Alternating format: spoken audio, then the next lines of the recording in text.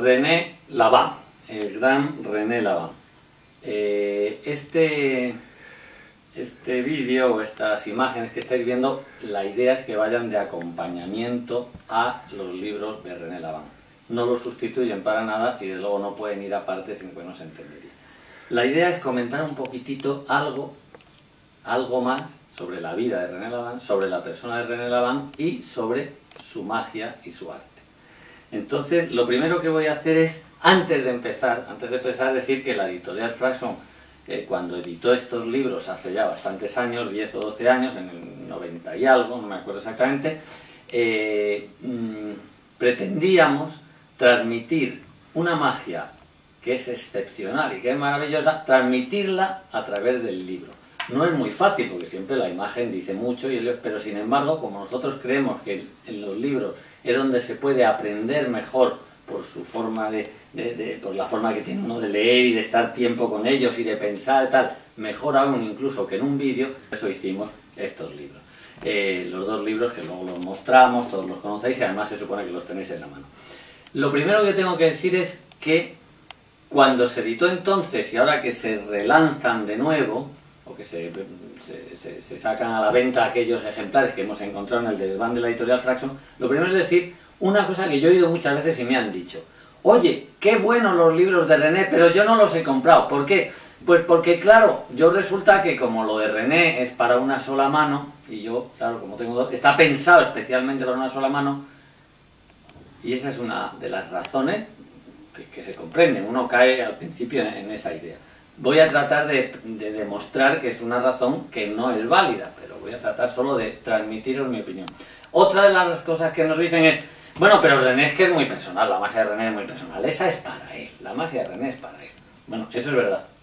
Eso es verdad. Eso creo que es verdad para René, creo que es verdad para Slidini, creo que es verdad para Fraxon, creo que es verdad para casi todos los artistas, verdaderos artistas. Entonces, es muy personal y por tanto mm, no vale, no, sí vale. Uno aprende, uno aprende cómo es esa persona, cómo actúa, cómo hace la magia y lo adapta a uno mismo. Si no, habría que limitarse a libros de autores de nivel eh, personal medio o bajo y entonces solo mirar la magia. Yo creo que son dos estilos de libros totalmente distintos. Yo personalmente he aprendido mucho en los libros, muchísimo, pero muchísimo, en los libros de Slagini y no he hecho ningún juego de él, porque es una magia muy personal. Podría haber hecho, que no lo he hecho por decisión propia, hay otros que hacen y se pueden hacer, pero yo eh, ni siquiera no haciendo los libros me he quedado sin sacar un jugo enorme y un fruto enorme de esos libros. Pero de todas maneras volveré a hablar de eso. Y la tercera pega que se suele poner es decir, bueno, es que René, como hay esa importancia de la charla, de la dicción, del, de la transmisión dramática, de la gestual, pero sobre todo la verbal, esas charlas legendarias de René, pues entonces yo, como yo soy más bien, yo no soy, yo no recito como él, yo no hablo como él, va a quedar, va a perder mucho el juego, el juego va a quedar muy poquito sin esas charlas y sin esa. Y también quiero mm, eh, transmitiros mi sensación de que no es verdad. Y de paso, eso nos va a ayudar a ver, a analizar un poquito cómo es la magia de René, para que vosotros la sintáis mejor, ya que tenéis los libros y queréis profundizar en esa magia y adaptar lo más posible esa magia a vuestra forma de ser. con respecto a la primera de las pegas, lo de una sola mano, es obvio, es obvio que, eh, iba a decir que no es que sea una bobada, sino que es obvio que se refuta casi por sí misma. Si tú hay algo que haces con una mano y se puede hacer con una mano, pues se puede hacer también con dos manos, se podría hacer con dos manos. Entonces, eh, la cuestión que yo querría transmitir o, deciros es que es verdad, es verdad que gracias a que René tiene una sola mano, él ha tenido, no quiero hacer, eh, entenderme como lo digo, ha tenido la suerte, entre comillas, de tener una sola mano. Él lo dice también. Él lo dice. Es, ha tenido la suerte en el sentido de que ha tenido que buscar una originalidad en los pases, buscar una adaptación a los efectos, se ha hecho muy personal, pero además hay un tercer factor que, no queda muy claro a veces y que es el siguiente. Gracias a que lo hace con una sola mano, la otra mano no molesta, no interviene, no ensucia, no te distrae. Y entonces tiene más claridad, tiene más rigor y tiene más efecto. Muchas veces los juegos de René tienen más efecto, o la magia de René tiene más efecto, porque lo ha hecho con una mano, no ya por la dificultad técnica, decir, oye, lo hace con una sola mano, eso es otra historia que todos sabemos que también tiene su importancia, pero que ahora no hablamos de ella. Entonces, lo primero a decir es que si hay un pase, sea el que sea, mm, que él hace a una sola mano y hace así, bueno, pues se puede hacer también con dos manos, se puede cuadrar y luego hacer el pase y tal. Quizás sea peor si además en el momento de girar para hacer el pase, la otra mano también interviene, porque a lo mejor lo estropea. No, Ramón, yo te ruego que lo veas de lejos, lo veas de lejos.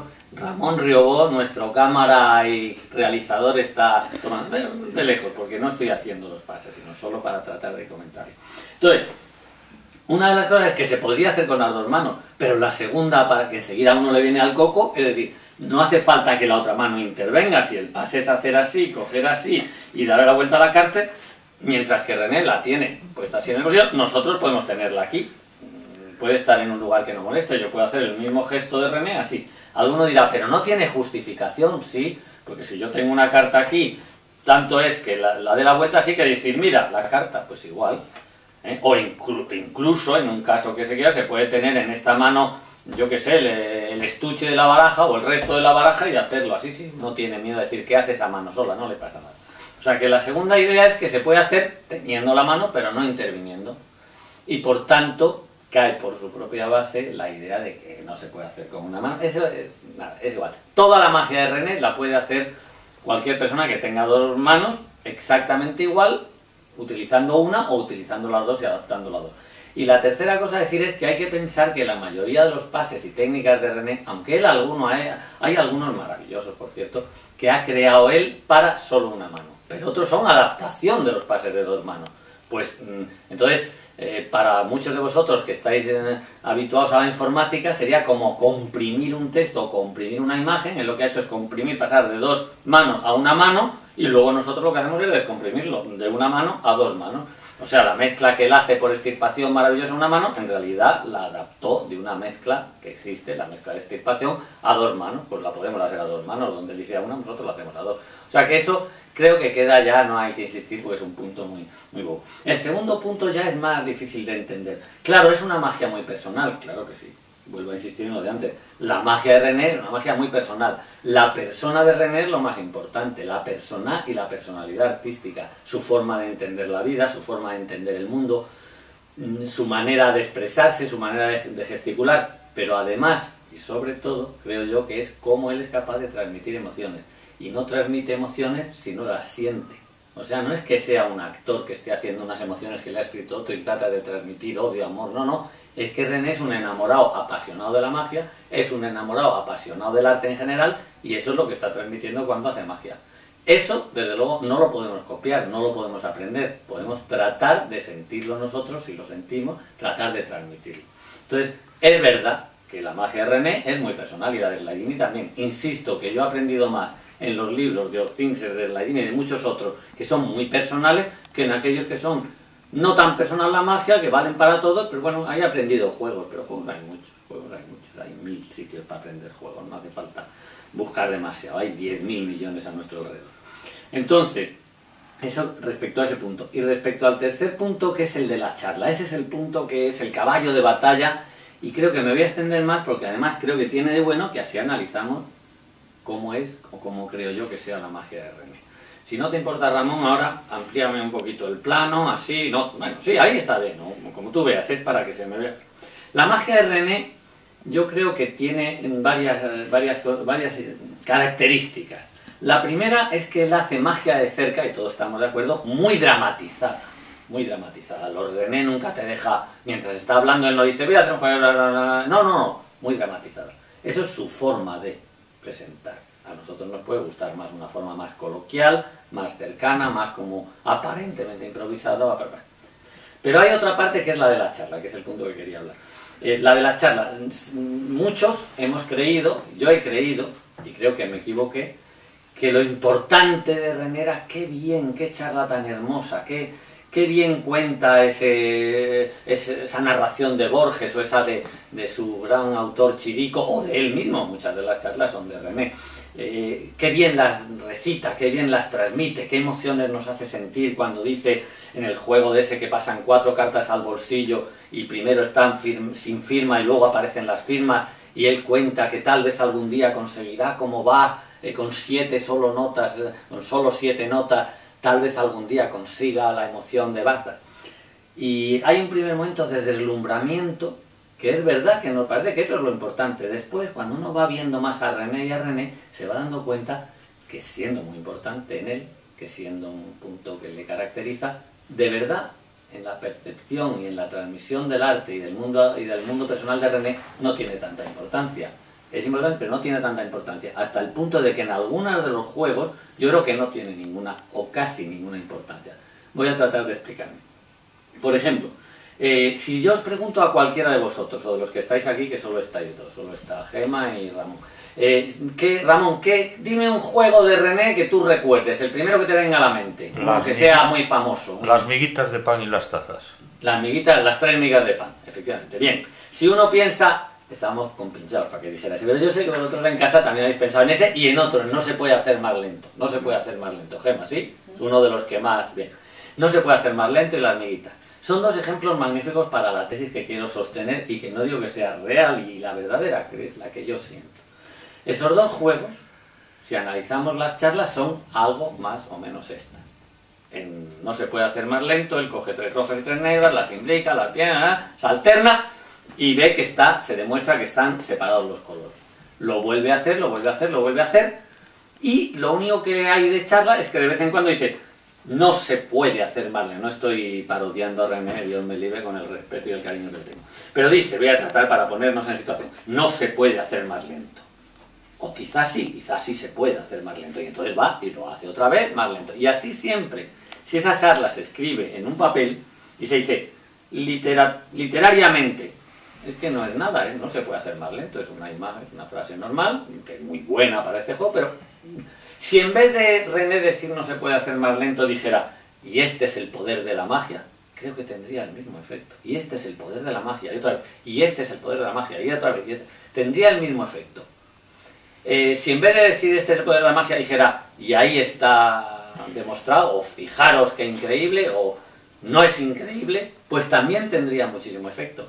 O sea que la diferencia es solo que a él le gusta más decir para transmitir la idea de lente y digitación, dice lo de lento y tal, pero si nosotros, si yo hago el juego y digo, y este es el poder de la magia, yo os aseguro que en un 90% sería el mismo juego no sería la misma persona, gustaría más o menos lo que fuera por las personas, pero el juego en sí es el mismo y el efecto mágico que produce es prácticamente el mismo. O sea que es un ejemplo en el que la charla no es nada, pero no, es que diga que sea mala, es que no hay casi charla, es una frase repetida como leitmotiv distintos momentos que le da una fuerza porque se repite y suena como un soniquete, un soniquete bueno, quiero decir, pero no tiene influencia prácticamente en el juego. Y en el de las migas que tú has dicho, Ramón, pasa igual en el de las migas todo lo que dice es y siempre tengo tres migas, y siempre tengo tres migas, tiro una y siempre tengo tres migas, y la cuarta y siempre tengo tres migas.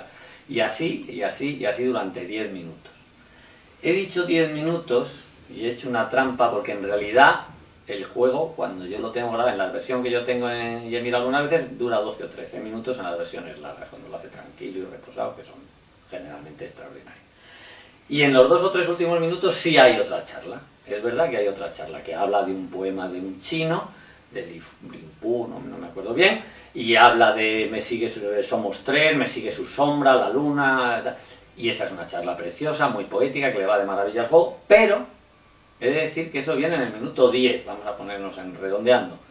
Los 10 primeros minutos no hay esa charla, es más, la primera vez que yo le vi a René hacer este juego, creo recordar, hace muchos años, que aún no había puesto lo del poema eh, al final. Y sin embargo el efecto, o cualquiera que lo vea ahora, lo ve en televisión, lo ve en, vivo, y a los 10 minutos le llaman por móvil una cosa urgente y se tiene que ir, y vendrá diciendo qué maravilla de juego, tiraba las migas, no, y no te dirá, me faltó un poquito de charla, no, no, no. La charla además le añade un poquito al final, pero de verdad, de verdad, el juego es que tira una miga y no. Si le preguntamos a cualquier espectador profano que ha visto el juego de René al final de las migas, que juega una maravilla, ha tirado una miga, y venga, y venga, y venga, es increíble, es imposible, si es que ha tirado 10.000 migas, es que... Ese es de verdad el efecto mágico. O sea que, incluso en ese, que tiene al final un poquito de charla, la charla es como un añadido, es un además, es un algo más, pero no es la esencia de la magia de René. Yo creo que haríamos, rebajaríamos a René como artista mago si creyésemos que la importancia está en lo que dice o en lo que no dice o en la forma de decirlo. Voy a, voy a contar una anécdota a este respecto. Eh, cuando yo conocí a René la primera vez fue en Argentina, que por cierto, voy a contar un poco cómo fue, porque es, es muy bonito. Yo estaba en Argentina para la televisión, entonces Julián Sáez estaba en casa de él, un mago fallecido y tristemente muerto y, recordado con amor y con cariño, me dijo, mira, en la televisión va a salir René esta noche. Yo no le había visto en persona, había oído mucho hablar de él a través de Ascanio, que aunque Ascanio no le conocía, le admiraba mucho por lo que le habían contado. Y entonces, mm, ah, qué bien, vimos a René, le llamamos al hotel, que estaba en un hotel ese día porque era en directo la grabación, la grabación, la emisión del programa, y René me dijo, no puedo ir porque estoy muy cansado, me gustaría conocerte, yo te he visto también aquí en la televisión, me gustaría mucho, pero no puedo. Luego cambió de parecer y vino. Y cuando vino, éramos tres o cuatro personas, llega René, me dice, hazme un juego. Yo le hice un... No, parecía que era como un reto, que no había reto, pero parecía, ¿no? no eh, esa manera de, enfrentarnos en un primer momento, no nos conocíamos personalmente, no, René, me gustaría, bueno, hice un juego, tal, y haz, algo. Y René de repente, estando tres personas alrededor de una mesa, y él aquí veo que se pone de pie, Ramón, te aviso que me voy a poner de pie para que no me salga del encuadre, y, de repente se pone el de pie, bueno, aquí guardada, y entonces de repente... Eh, estábamos, imaginaos, aquí tres personas viéndole, y él hace así, dice, iba yo por Mississippi en el no sé qué, y empieza a mirar en esta dirección como a los espectadores inexistentes que no había detrás de mí. Yo pensé, ha entrado alguien en la habitación. Mi primera reacción fue, ah, ha entrado alguien. Me giro, veo, no había nadie. ¿Por qué? Porque René tiene la costumbre, y es su forma de, hacer la magia, de dirigirse a todo un público que tiene delante, a todo, ahí no había cámara, cuando lo hace con una televisión es normal, es el público que está en, su casa, ¿no? Pero aquí no, aquí él inmediatamente se puso en, en eh, mago de salón, en mago que tiene un suficiente, 20, 15, 30, 40 personas, porque es su estilo de dramatizar la magia, y me impresionó vivamente, me, vi el juego, me entusiasmó todo, la técnica, el juego, la forma, todo, todo, ¿no? Incluso diré un detalle, los pies. Yo no sé si sabéis, lo de los cinco puntos me encanta ver cómo se ponen los pies, qué bien se pisa. Y René es un maestro en eso. Si alguna vez le veis y le habéis visto muchas veces, dedicar 30 segundos solo a mirar cómo pone los pies en sus 45, bien apoyado en uno, cómo se echa para atrás, cómo en un momento hace así y dice no, y se retira y va pisando bien y otras veces vuelve, en fin. Pero me fijé en todo y me quedé admirado. Pero una de las cosas que más me impresionaron fueron, sin duda, aquella forma de dramatizar para mucha gente, como una obra teatral, como una obra teatral casi, eh, como una, obra teatral, la magia, el efecto mágico. Eso me gustó y me impresionó muchísimo. Después, cuando volví a España, empecé a contarle, he visto a René Laván, es el mago de una sola... Obviamente, no, no, eh, hago un paréntesis, todo nos ha impresionado la primera vez que lo hemos visto decir, oye, y solo tiene una mano pero como todos sabemos, eso se olvida enseguida, lo importante es luego su magia, o sea que no estamos... Ah, como solo tiene una mano le voy a aplaudir más porque es más difícil, no, eso sería reducir la magia a la parte de la técnica de los dedos o de las manos, que no es el caso. Bien, entonces vuelvo, cierro el paréntesis y vuelvo a aquel momento. Me impresionó aquello y me impresionó también, qué duda cabe, me impresionó su manera de hablar, su manera de declamar, su... hasta el punto de que al poco tiempo volví a España, él me avisó, él me dijo que quería venir a Europa, hicimos para arreglarle unos programas en televisión con Íñigo, vino a los programas de televisión, estupendo, maravilloso como siempre, y me dice René, eh, bueno Juan, a ver si ya que hemos venido a España podríamos ir por Europa, hacer una gira, hacer unos pequeños para los magos.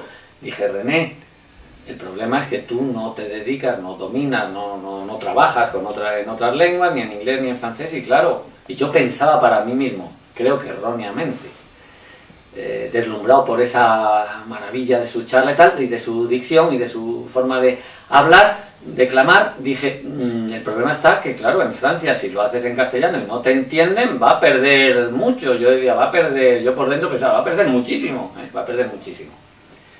Él me dijo, no importa, no importa. Y yo pensé, bueno, que seguro de sí mismo es este buen hombre, pero en fin, si a él no le importa, efectivamente arreglamos una gira y fue a París la primera vez. Yo estaba, no preocupado, pero estaba en ese momento en el Escorial viviendo y estaba como inquieto a ver qué, a ver qué tal había ido. Fue a París, yo les avisé a los de París, oye, sería bueno que tuviera un buen traductor, porque claro, es muy importante el habla y quiero que...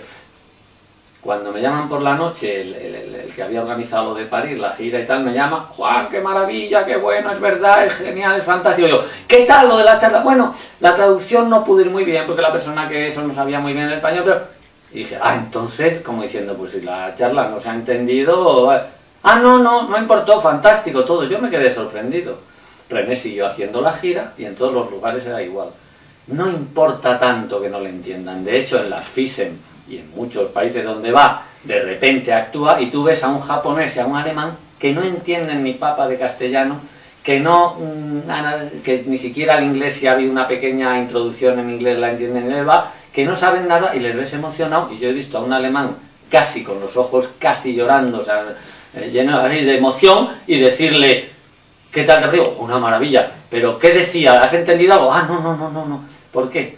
Pues porque yo creo que lo importante de las palabras de René no es que no tenga importancia la letra, las palabras y todo. Quiero decir que es la forma de transmitir esas palabras, la forma de sentirlas él y de transmitirlas.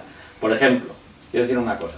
Si nosotros oyésemos el, el himno de la alegría de Beethoven, de la novena sinfonía, yo no he oído a nadie decir, oye, yo, qué maravilla, pero como no entiendo la letra en alemán, yo no entiendo en alemán, no me gusta, no. Yo no entiendo la letra en alemán, no sé nada más que es un poema hermosísimo de Schiller, sé que es sobre la Oda a la Alegría o la Alegría, no sé, y nada más, y sin embargo me emociono. Es probable que si además entendiese la letra, quizá me emocione un poquito más, es probable, pero vamos, a mí no me ha impedido ni a casi nadie quedarme estasiado ante esa obra cumbre de- de- del arte mundial. ¿no? Pues con René creo que pasa igual. O sea, no importa tanto. Creo que hay una sobrevaloración de la parte mm, de la mm, voz, de, la, de lo que dice, de la charla, del cuento, cuando René lo que es increíble es qué visión del mundo tiene, cómo la transmite, cómo la transmite a través de la magia, qué efectos tan fuertes cuando una carta es blanca y luego de una carta y luego es otra carta y luego se vuelve blanca y blanca y una vez y otra y otra, cuando las cartas se, desa- se alternan los colores y una vez y otra y otra y otra y otra, cuando las migas... re- e- Eso es lo que es fortísimo, creo yo, eso es lo que es potente. Yo creo que no haríamos o no hacemos nada bueno al apreciar, para apreciar que René Laván es un gran declamador, lo es, pero es que es además, eh, como no haríamos pensar que Pendragon lo que tiene de bueno es que es un tío cachas, que cómo se mueve, que la, eh, la- ella, la Pendragon, que, que, que- que estética tiene y qué bien está, qué guapa es y cómo se mueven los dos y qué ritmo y qué... Sí, pero si ellos salen a hacer su baúl y en vez de chatapo y con toda la sensualidad que transmiten entre los dos y toda la fuerza, si en vez de hacerlo así lo hicieran salir tranquilamente un día, sin decorado, sin, sin música, sin traje, sin hacer nada, solo salen, pum, pum, pum, se pone ella adentro, se pone él arriba, pero de repente hace el gesto ese de ¡chas! y se transforma en ella. Y yo creo que todos, que hasta ese momento mejor estaban, ¡ah!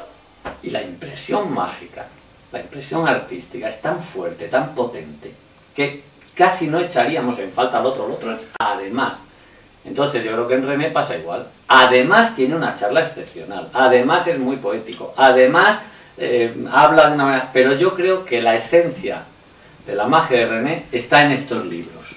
Que están, están en estos libros, que están las charlas, pero no solo están las charlas, están las estructuras, está en el rigor de cómo hay que ir directamente al efecto y repetirlo y repetirlo. Está la técnica puesta en su manera mejor, que es un poquito de técnica cuando hace falta, y cuando hace falta no te metas en técnica. Cuando lo que hay que hacer es demostrar que en la cartera a lo mejor solo hay un empalme en un momento determinado. Eso sí, muy bien hecho. O un empalme hay que hacerlo maravilloso. Pero nada más, no es que esté ahora hago este, ahora el otro, ahora el filo, ahora cambio, ahora no, no, no, no está demostrando nada de eso. Esa maravilla de saber coordinar las técnicas que él domina, entrena mucho, René es un caso, luego contaré algún detalle de todo lo que entrena y todo lo que dedica René a sus juegos, que es fantástico.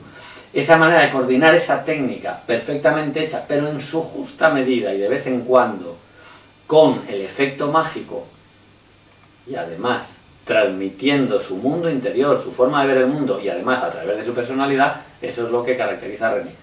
Nosotros de su personalidad no podemos copiarla, podemos incrementar y enriquecer la nuestra. Su mundo interior no podemos, es su mundo interior, su forma de entender el mundo, pero sí podemos aprender de todo lo demás.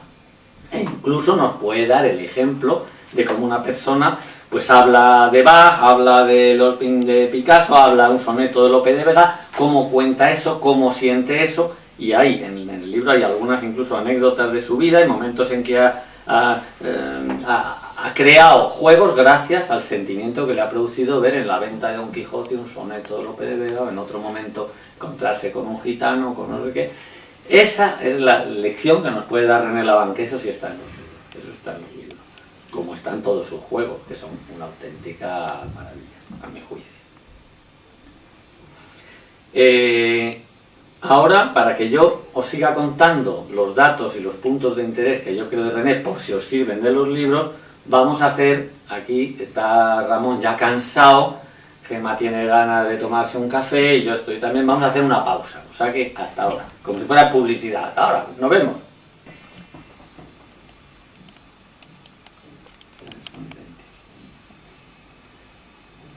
Ah, que ya está grabando, ¿no? Pues eh, de la transmisión dramática, la gestual, pero sobre todo la verbal, esas charlas legendarias de René, pues entonces yo, como yo soy más bien, yo no soy, yo no recito como él, yo no hablo como él, va a quedar, va a perder mucho el juego, el juego va a quedar muy poquito sin esas charlas y sin esa. Y también quiero mm, eh, transmitiros mi sensación de que no es verdad. Y de paso, eso nos va a ayudar a ver, a analizar un poquito cómo es la magia de René, para que vosotros la sintáis mejor, ya que tenéis los libros y queréis profundizar en esa magia y adaptar lo más posible esa magia a vuestra forma de ser. con respecto a la primera de las pegas, lo de una sola mano es obvio, es obvio que, eh, iba a decir que no es que sea una bobada, sino que es obvio que se refuta casi por sí misma. Si tú hay algo que haces con una mano y se puede hacer con una mano, pues se puede hacer también con dos manos. Se podría hacer con dos manos. Entonces, eh, la cuestión que yo querría transmitir o, deciros es que es verdad, es verdad que gracias a que René tiene una sola mano, él ha tenido, no quiero hacer eh, entenderme como lo digo, ha tenido la suerte, entre comillas, de tener una sola mano. Él lo dice también. Es, ha tenido la suerte en el sentido de que ha tenido que buscar una originalidad en los pases, buscar una adaptación a los efectos, se ha hecho muy personal, pero además hay un tercer factor que no queda muy claro a veces y que es el siguiente. Gracias a que lo hace con una sola mano, la otra mano no molesta, no interviene, no ensucia, no te distrae. Y entonces tiene más claridad, tiene más rigor y tiene más efecto. Muchas veces los juegos de René tienen más efecto, o la magia de René tiene más efecto, porque lo ha hecho con una mano. No ya por la dificultad técnica, decir, oye, lo hace con una sola mano. Eso es otra historia que todos sabemos que también tiene su importancia, pero que ahora no hablamos de ella. Entonces, lo primero a decir es que si hay un pase, sea el que sea, mm, que él hace a una sola mano y hace así, bueno, eso es verdad. Eso creo que es verdad para René, creo que es verdad para Slidini, creo que es verdad para Fraxon, creo que es verdad para casi todos los artistas, verdaderos artistas. Entonces, es muy personal y por tanto mm, no vale, no, sí vale. Uno aprende, uno aprende cómo es esa persona, cómo actúa, cómo hace la magia y lo adapta a uno mismo. Si no, habría que limitarse a libros de autores de nivel eh, personal medio o bajo y entonces solo mirar la magia. Yo creo que son dos estilos de libros totalmente distintos. Yo personalmente he aprendido mucho en los libros, muchísimo, pero muchísimo, en los libros de Slagini y no he hecho ningún juego de él, porque es una magia muy personal. Podría haber hecho, que no lo he hecho por decisión propia, hay otros que hacen y se pueden hacer, pero yo eh, ni siquiera no haciendo los libros me quedado sin sacar un jugo enorme y un fruto enorme de esos libros. Pero de todas maneras volveré a hablar de eso. Y la tercera pega que se suele poner es decir, bueno, es que René, como hay esa importancia de la charla, de la dicción, del René Laván, el gran René Laván. Eh, este, este vídeo o estas imágenes que estáis viendo, la idea es que vayan de acompañamiento a los libros de René Laván. No los sustituyen para nada y de luego no pueden ir aparte sin que no se entendería. La idea es comentar un poquitito algo, algo más sobre la vida de René Laván, sobre la persona de René Laván y sobre su magia y su arte. Entonces, lo primero que voy a hacer es, antes de empezar, antes de empezar, decir que la editorial Fraxon, eh, cuando editó estos libros hace ya bastantes años, 10 o 12 años, en el 90 y algo, no me acuerdo exactamente, eh, mm, pretendíamos transmitir una magia que es excepcional y que es maravillosa, transmitirla a través del libro. No es muy fácil, porque siempre la imagen dice mucho, pero sin embargo, como nosotros creemos que en los libros es donde se puede aprender mejor por su forma de, por la forma que tiene uno de leer y de estar tiempo con ellos y de pensar tal, mejor aún incluso que en un vídeo, eso hicimos estos libros. Eh, los dos libros que luego los mostramos, todos los conocéis y además se supone que los tenéis en la mano. Lo primero que tengo que decir es que cuando se editó entonces y ahora que se relanzan de nuevo, o que se, se, sacan a la venta aquellos ejemplares que hemos encontrado en el desván de la editorial Fraxon, lo primero es decir una cosa que yo he oído muchas veces y me han dicho. Oye, qué buenos los libros de René, pero yo no los he comprado. ¿Por qué? Pues porque, claro, yo resulta que como lo de René es para una sola mano, y yo, claro, como tengo dos, está pensado especialmente para una sola mano, y esa es una de las razones que, se comprenden. Uno cae al principio en, esa idea. Voy a tratar de, de demostrar que es una razón que no es válida, pero voy a tratar solo de transmitiros mi opinión. Otra de las cosas que nos dicen es, bueno, pero René es que es muy personal, la magia de René es muy personal. Esa es para él, la magia de René es para él. Bueno, eso es verdad.